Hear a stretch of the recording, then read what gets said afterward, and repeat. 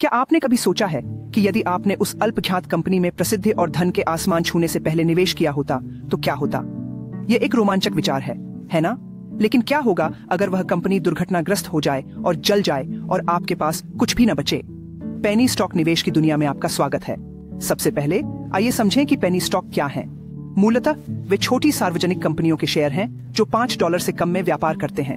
वे अक्सर अपनी कम कीमत और महत्वपूर्ण रिटर्न की संभावना के कारण निवेशकों के लिए आकर्षक होते हैं। हालाँकि, यह हमेशा उतना गुलाबी नहीं होता जितना लगता है। एक औसत निवेशक श्री स्मिथ की कहानी पर विचार करें। उन्होंने एक बार एक आशाजनक बायोटेक पेनी स्टॉक में निवेश किया था। कंपनी एक क्रांतिकारी दवा विकसित कर रही थी और स्मिथ को उच्च रिटर्न की संभावना का लालच था। कुछ समय के लिए ऐसा लग रहा था जैसे उसे जैकपॉट मिल गया हो। शेयर की कीमत बढ़ी और स्मिथ का निवेश दो गुना हो गया। लेकिन फिर दवा क्लिनिकल परीक्षणों में विफल रही, स्टॉक गिर गया और स्मिथ ने अपना लगभग सारा निवेश खो दिया। ए